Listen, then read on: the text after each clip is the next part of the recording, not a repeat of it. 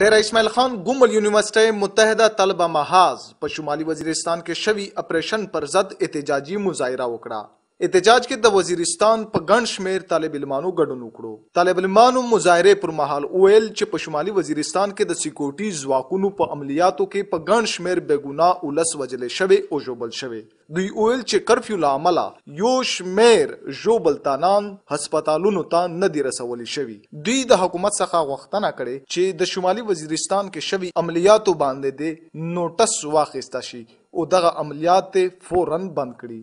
وفاقي حکومت سترګې پټې کړې دي چې دا څه شوي دي که نه دي شوي. ایون هغه دعوې هم کوتې چې دا دهشتګرده خلاف دعوه کروي وه. دا دهشتګرده خلاف کروي نه وه. دا صرف او صرف د میرعلی بازور د کیرې د بچیو نه د خواتین د شزه د هر چمړاولې و ذریعہ وا چیرته چې د مکه په پېښور په بانی په نره علاقې شو شي آیا ازوی ها په لوکل کمیونټي باندې فایرینګ شي په لوکل کمیونټي باندې ته په ورېږي په لوکل کمیونټي باندې هلیکاپټر فایرینګ کو کدا صرف اصول فټه ده پورا دي آرمی واسه ډیسپلین درادو میږ ته تا ریکویسټ کی چې دای د په ډیسپلین شې سېږي اې میږ جنگ اې میږ دهشتګردۍ سره هیڅ واسطه نشته پوره من خلک په پوره من طریقه سره مې پرېږدي چې کله لشکي حالات ټیک شي څه وشي واقعا وشي حالات بیا خراب شي ویلې میږ ته تحقیقات غوړي سو موټو اکشن غوړي چیف جسټس کا چیرې دا ویایي چې میږ ته په جوریسډیکشن شې نه میز د ته میز د دای ولی یار کو کچره دای میز نه مانی میز زنه ته ير ور کوي چا میرلی کی موقعیا شوی دو وړه وړ کی کی مشزونه کی مو امړه شوی دی شهیدون شوی دی په باره کې مجده مطالبه دو د چیف جسټس نه چې دغه د شفاف تحقیقات وشي او زر تر زر دا مشته ځواب ملاو شي ګر